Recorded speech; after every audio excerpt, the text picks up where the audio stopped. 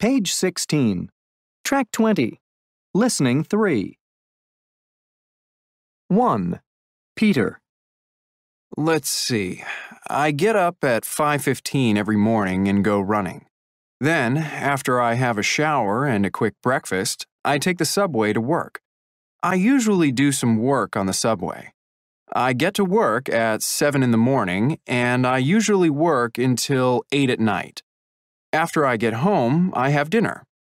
Then I read the newspaper before bed. I usually go to bed about 11 o'clock. 2. Amelia. I'm pretty busy these days.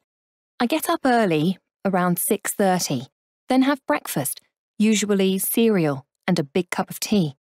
Then I take the bus to school. While I'm on the bus, I usually text my friends. Let's see. I have classes from 9 until 3. After classes, I go home and study for a few hours. Then I have dinner with my family. After dinner, I play video games for an hour or so, then chat with my friends online. Finally, I take a shower, then go to bed, usually around 10 o'clock. 3. Charlie. My routine? Well, I'm looking for a job at the moment, so I don't have much of a routine. Every day is a little different, but I usually get up around 11, then I go running. After that, I have a big lunch. I'm always hungry because I don't have breakfast.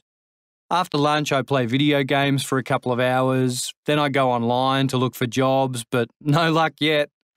After that, I usually watch some TV, then have dinner. In the evening, I usually hang out with friends and play some more video games. I usually go to bed at 1 or 2 in the morning.